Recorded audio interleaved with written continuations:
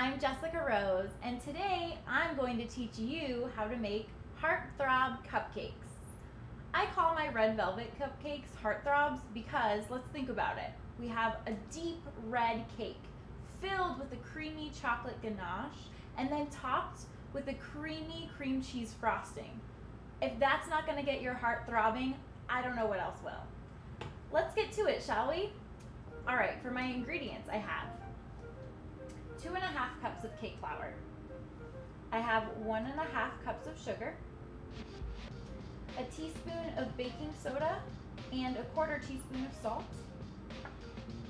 two eggs, a teaspoon of vanilla extract, two tablespoons of red food dye, a teaspoon and a half of apple cider vinegar, one cup of buttermilk, two tablespoons of cocoa powder,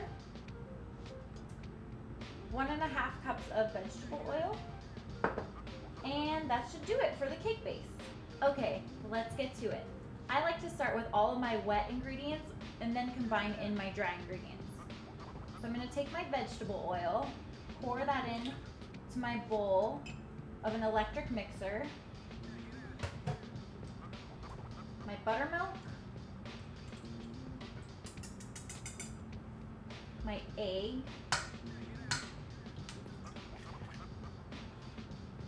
a teaspoon of vanilla extract,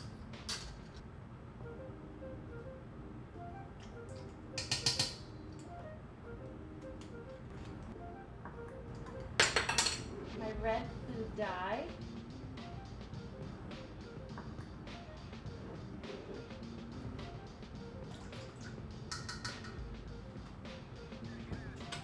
going to mix all these liquids together.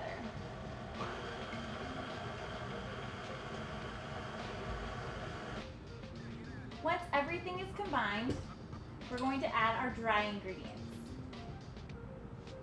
Our flour, sugar,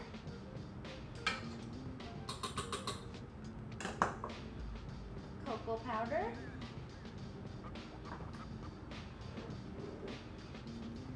our salt and baking soda,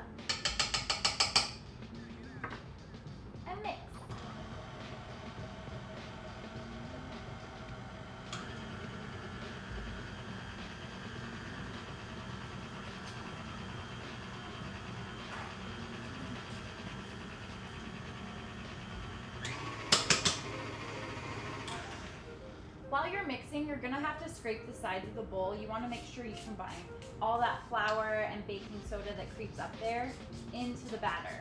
At this point, I also save the apple cider vinegar for last. I like to create that little bubble, so I just add my teaspoon, I eyeball it. And when you mix it, you'll start to see the foam a little bit.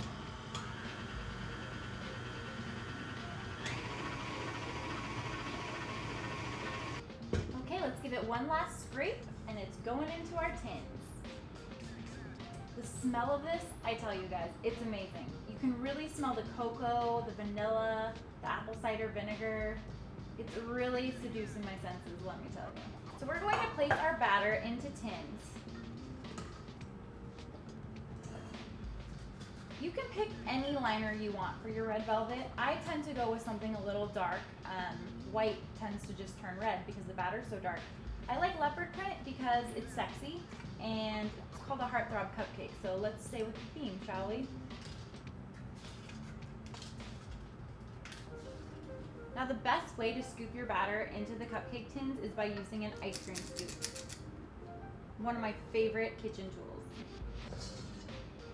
Scoop it about two thirds full and plop it in.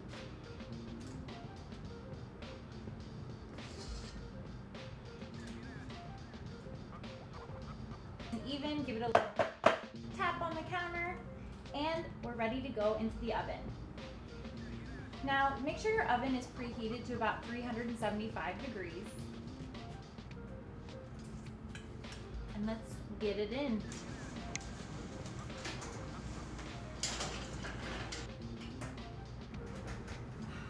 Now let those cook for about 12 to 15 minutes. You'll see they'll start to rise. They'll get really springy and puffy and they're just gonna look so moist and delicious. Okay, our cupcakes are out of the oven. They're cool. They're sitting on our cooling rack. And this is the point where we are going to drill a hole through these babies. I'm gonna take my apple corer and I'm just gonna place it in the center of the cupcake and I'm gonna go around and make a little circle in the very middle of the cupcake. And then with that, I'm going to plop the middle into a bowl. So you'll see I have a nice hole cut out of the center.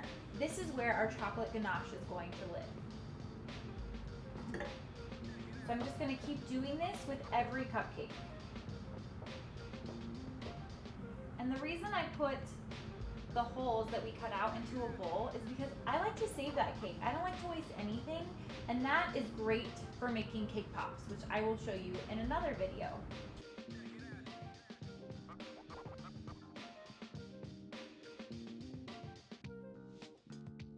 Now we're gonna fill our heartthrobs with our chocolate ganache. So all you're gonna do with this is just grab a teaspoon and plop the ganache into the hole. Just enough to fill it to the top. Mmm, divine. And it's okay if it's a little messy. The more the merrier, I say. And your cream cheese frosting is going to cover any mess.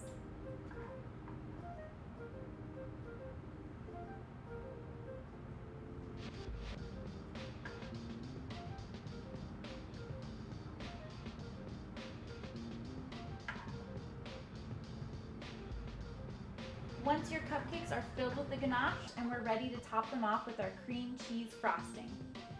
For the recipe for my cream cheese frosting, just click this link and it'll take you right to it.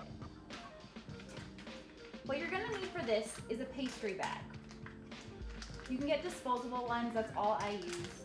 You fill it with the tip of your choice and snip it you can actually get frosting out of there. I chose about a half inch diameter for my tip. I mean, of course I like them bigger, but in this purpose, this will do just fine. You're just gonna take your frosting, scoop it up, and plop it in.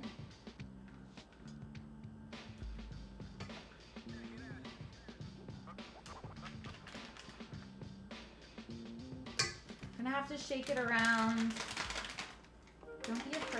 Get in there with it.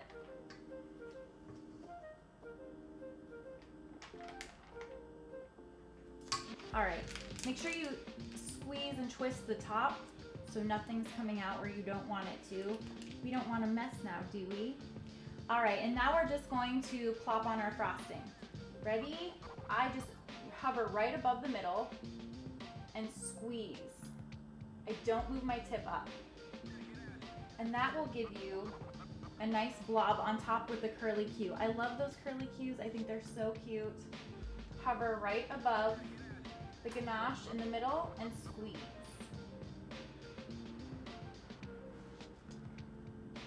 One more time.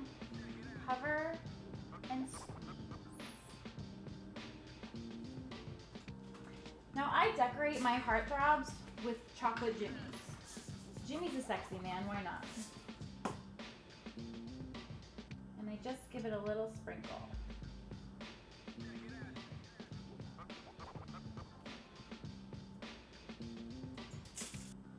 There you have it, the Heartthrob Cupcake. I hope you guys enjoyed this recipe. If you did dig it, please subscribe to my channel, click like, and check out the link below for my blog. Thank you for watching.